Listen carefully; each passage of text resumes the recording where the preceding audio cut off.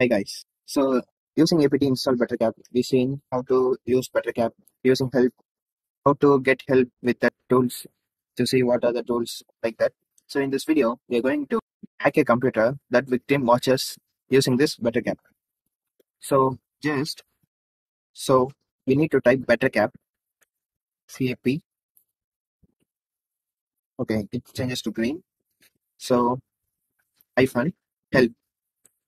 So now see how the help are showing here. So so I'm searching for iFace. So see, we are using this iFace icon iFace string. So this iFace is used for it is known as interface. Short form is iFace to set the interface. See network interface to blind. So if it is empty, it will be auto selected. So I'm clicking here, typing better cap hyphen iFace ETH zero.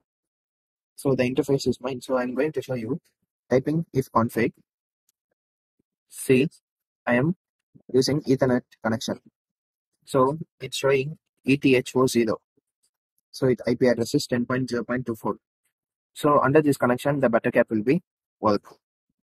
See ETH40. So we minimize it. So we type ETH40. When we press enter, see 10.0.24 is our IP address. So it's showing. If we did not give this Ethernet, so it will assign this connection. So we now in my system. So ETH4, so, so showing my IP address.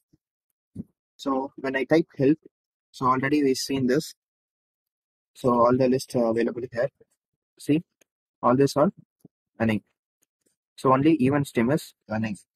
So other than nothing is running. So we need to turn on all the things. First, we need to turn on net.probe.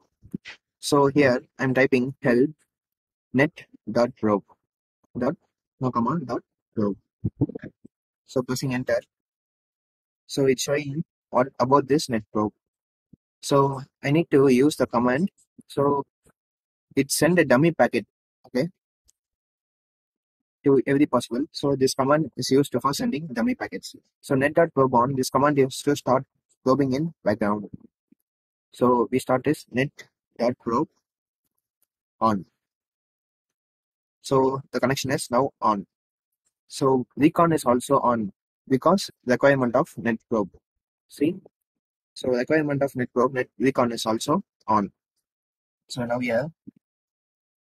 So we type help. See? Net probe is running and net recon is also running because net probe red Nikon. Okay. So we detected so it's running without any problem. So now I'm opening a new terminal. So ARP scan iPhone scan dot list. So we need to scan it. What are the possible network on my router?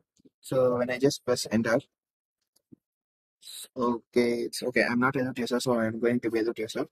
So I'm running the same command. ARP scan iPhone L. So enter. See, these are the device connected to my network. So I'm closing this. So I'm down. So now we have to run ERP spoof command for spoofing. So before we use ERP spoof, now we are using ERP.spoofing this BetterCap to run the job. So help space ARP, sorry, ARP dot spoof. And press enter. You will see here so ARP spoof dot on to start this ARP. So before that, ARP is full duplex. If true, the target gateway will be attacked. Otherwise, the target only attacked by this. So internet will not connect it to this target. So if this is default, uh, it is false. So we need to make it true to attack both gateway and target. Otherwise, it will only target. It will attack only target. So the command to set it true is set set arp dot spoof dot full duplex. If you learn duplex, so first step to autocomplete is true. T R U E. So it ran without any problem. So it is set to true. Second one, the ARP spoof target. ARP spoof target. So we need to set ARP spoof target. So we need to set an IP address, target IP address, dot TAR targets. So I'm going to my Windows machine and typing cmd. So I'm going up if config uh, network center see 10.2.15. So I'm closing this. I'm coming to this 10.0. Point, sorry 10. So I made a mistake. So I set another time. So ERP dot spoof dot targets 10.0 dot 0 dot 2 dot 15. So I press enter. So now ERP spoof on. So it started without any problem. So starting spoofing one target. So going to Windows ERP minus A. To see that 10.0.24 is added the same IP address and MAC address. So clicking here and I type if config see 10.0.2.4 and same MAC address is connected to this Windows MAC address. So now my my Kali Linux machine is connected to this using ARP. So now I can able to watch by enabling net.spoof. Okay, so you see ERP spoof is running in background. So next we need to we need to capture all the data by using net.sniff. By typing here help net.sniff. So we see all the things uh, listed here. So so we need to run net.sniff by clicking here net.sniff sniff on by pressing enter.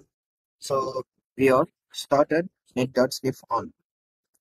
See at this IP address. So we have successfully started net.sniff. See if I'm going to my Windows and starting so by searching anything. So already I searched it here. Okay, I'm just see I'm going to bing.com so it capturing what the what the base or the URL I'm going on. So again I'm going to this Bing here and type vulnerable. It's a famous website for vulnerability. So I'm clicking here. So it's just a vulnerable page. So this page is written by Python. So some kind of thing. So I'm testing this file. So see we are captured I'm using I'm went to vulnerable web. So I'm clicking here. So I'm going to this website. See it directing me test.html 5.vulnerable. See so now I'm here logging. So I'm giving a fake password. Like this is our HTTP connection. So H is my username and typing S is my password. So I'm pressing log in. So I'm logged in with this HHHH. So what we what the Linux is captured is so we are going to Linux. See the username is HHH. So it captured that. So you see the username and the password PP is captured here. So all the thing is captured here. This is because of HTTP connection. So hypertext transfer protocol because it will not secure anything. HTTPS is secured one. HTTP is they just send a normal text file to communication, but HTTP is secured one. You guys understand how it works? HTTP connection. So HTTP, we can see what the host is, or the accept, or the connection is alive, or the reference agent is Mozilla Firefox, uh, content, username, password, what uh, all are sharing in normal text file. But in HTTP, HTTPS connection, all this file are encrypted. So I'm going to facebook.com. See, Logging in the page. So I'm just clicking here. I'm just type something on keyboard, just logging in. So I'm going here. See, in HTTP connection, it is not captured. See, I'm going to facebook.com. It's showing. So nothing is captured because it is an HTTPS connection because Facebook is running HTTPS connection. So you can see now it just uh, showing facebook.com like that. It's just showing what website I'm going to visit. Only in HTTP connection we can get all the information. In HTTPS it's all secured. So don't worry. Future videos, in future videos we are going to decrypt that encrypted data in HTTPS connections. So in this video, you can understand how to capture details, websites, and HTTPS connection websites that victim watches. I hope, guys, this will help you in learning in cybersecurity field. Thank you for watching. We are going to see interesting in next video, interesting topic. Thanks for watching.